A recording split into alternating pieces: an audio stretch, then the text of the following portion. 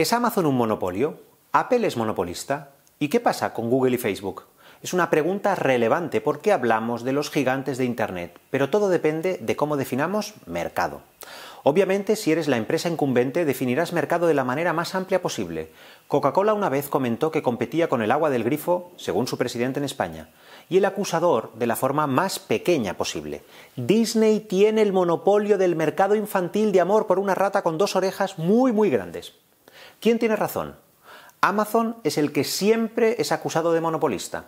Aunque Bezos ya aclaró que no quiere oír hablar de market share a sus directivos, si por ejemplo hablamos de venta de libros por Internet en Estados Unidos, Amazon tiene más del 50% y si es en ebook probablemente es más hasta un 75%.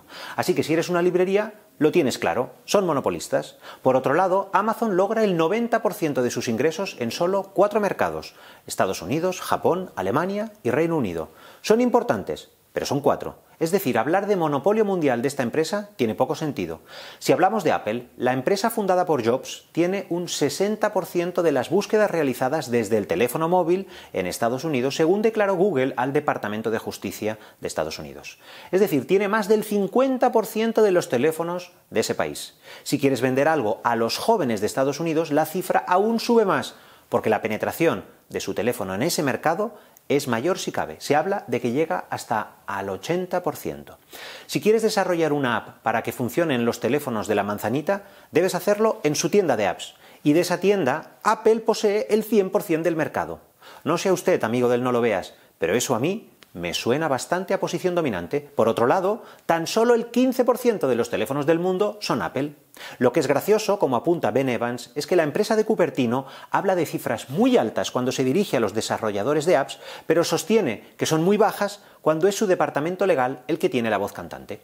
Google lo tiene peor cuando hablamos de monopolio porque con la excepción de China y algún país más, en todos los mercados en los que opera tiene de un 80 a más del 90% de cuota de mercado de las búsquedas online.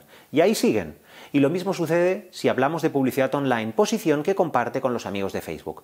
Estos dos jugadores juntos acaparan dos terceras partes del mercado publicitario de Internet mundial. Y lo que es peor, la mayor parte del crecimiento de la categoría va a sus bolsillos.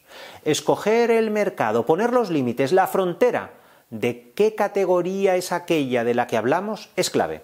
Por cierto, una curiosidad, Amazon no siempre gana. Hay mercados como Polonia donde un competidor local es el líder. Alegro es su nombre. En Rumanía, EMAC tiene más del 20% de cuota del mercado electrónico de ese país y la web de e-commerce más potente de Holanda se llama Ebol, aunque muchos holandeses compran en la web de Amazon de Alemania porque se lanzó antes en ese país que en el suyo propio y tienen muchas más referencias que en Holanda. Más ideas en el próximo No lo veas.